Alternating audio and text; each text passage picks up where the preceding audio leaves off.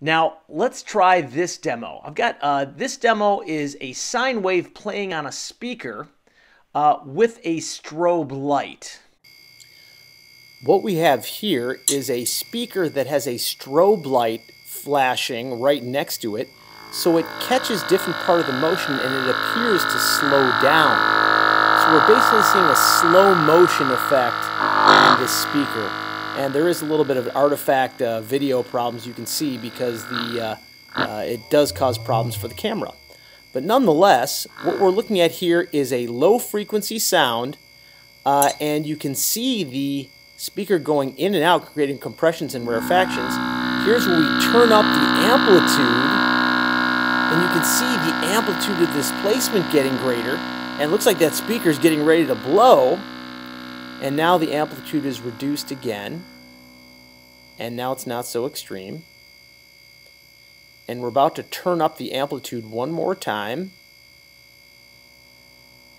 You can hear it getting louder, and you can see the displacement of the speaker getting greater. And there at the bottom, you can also see that it's uh, starting to distort a little bit, and our speaker's getting close to being blown. And turning it back down, back to a lower amplitude. Now, here's where I'm going to change the frequency. Start off with a low frequency. Go a little higher. A little higher still, you can hear the pitch going up slightly. An even higher frequency. And back down.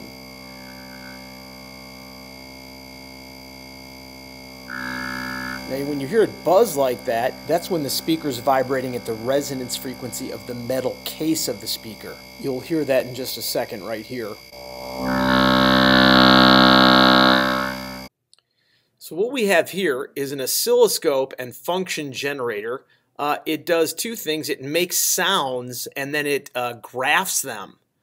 And here is, let me just turn on this sound so you can hear it. What we're playing right now is we are graphing the uh, a frequency of this is 0.2 hertz, but it's got a multiplier of a thousand down here, so that's actually 200 hertz. And what this is graphing is uh, it is graphing the pressure in front of the speaker versus time, or it's graphing the displacement of spe the speaker versus time. So here is where the pressure is high, and here's where the pressure is atmospheric right along there. Here's where the pressure is low. Uh, so here's a compression, here's a rarefaction. You could also interpret it as it's graphing the displacement of the speaker. In other words, this is where the displacement is positive going forward, and this is where the displacement is negative going backwards, and here's where the speaker is at equilibrium point. Now, that oscilloscope is graphing the pressure in front of the speaker versus time, or it could also be graphing the displacement of the speaker versus time. A forward displacement would be a positive value, a negative displacement would be a, a backwards value, uh, and right in the middle would be zero. Uh, now, watch what happens when I increase the frequency. How does the sound change? So, what we have this sound of 200 hertz here. If I increase the frequency, how does the sound change? So I'm going to turn this up to a little over 300 hertz here. This is 200. Listen how the sound changes.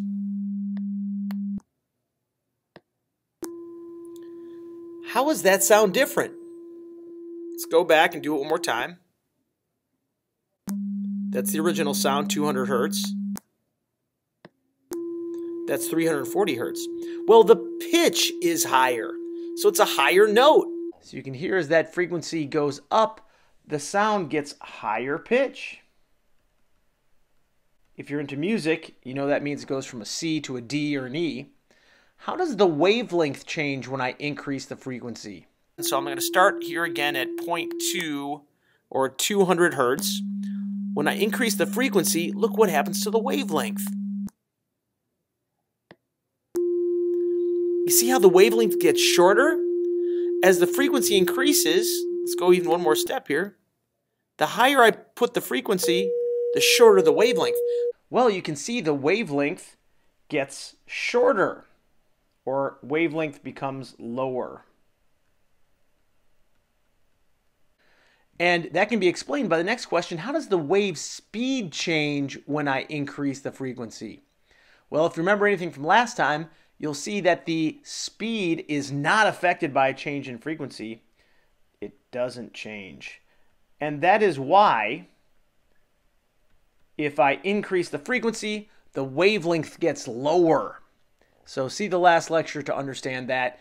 The only thing that affects the speed of sound is the medium. So if you don't change the don't change the medium, that means the speed stays the same. So increasing the frequency will lower the wavelength, or increasing the wavelength will lower the frequency.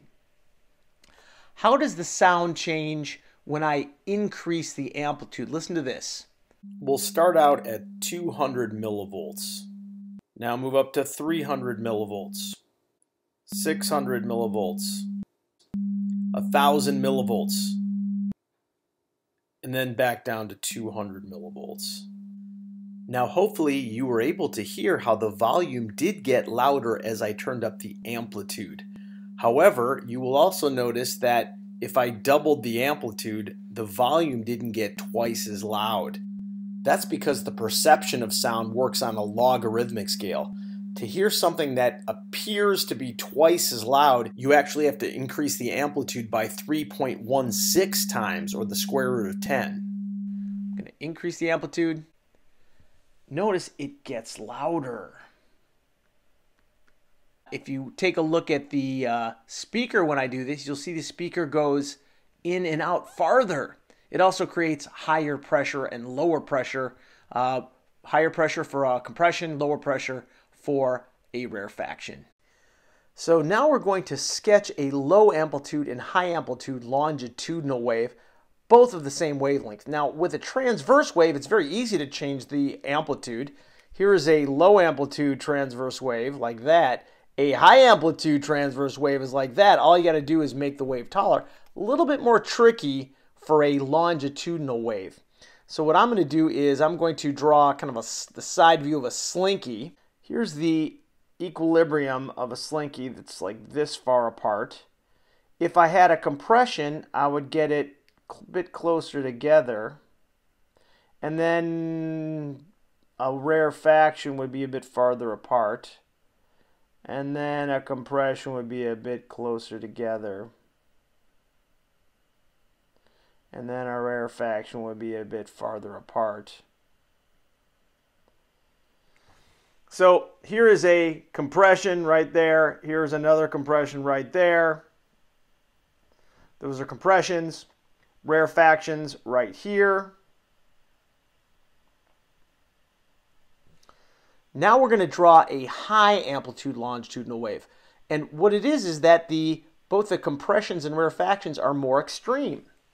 So if this is what we have as equilibrium like this, our compression for this high amplitude wave would be like that, very squished together. And the, longit the uh, longitudinal rarefaction would be very spread apart. And then a compression again, very squeezed together. And then another rarefaction, very spread apart. So here is our compression right here. Here's our compression right here. Here's our rarefaction. Really, I'll fix this right here so I have a rarefaction exactly halfway in the middle. Another rarefaction right here. Approximately the same wavelength, but you can just see it's more extreme. It's more squeezed together for this uh, compression. It's more spread apart for this rarefaction if it's a higher amplitude wave. So here's a demonstration of a longitudinal wave. You can see what's causing the wave is the piston moving back and forth. And you can see where we can follow some of these compressions, and you can see the rarefactions or where it's really spread apart. But let's go ahead and turn up the amplitude and see how this wave changes. Now notice here that these compressions are more squeezed together and the rarefactions are more spread apart right here. And you'll also notice that the displacement is greater. Notice the piston's moving back and forth more. Let's turn up the amplitude even more. And this is the most uh, high amplitude that I can get with this applet.